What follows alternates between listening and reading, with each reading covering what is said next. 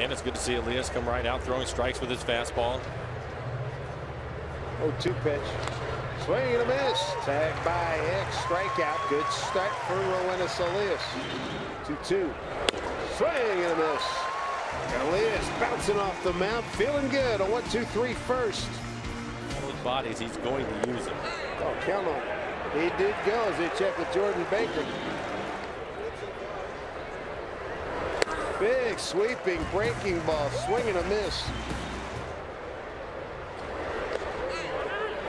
He did go as they check with Jordan Baker.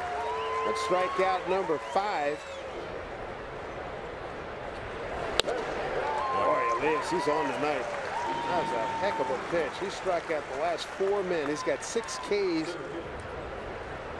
Nasty pitch. He has struck out five consecutive hitters. No lollygagging there. You got to like that. Here's the ball hit to center field. Coming on. Good closing speed by O'Malley to make the play.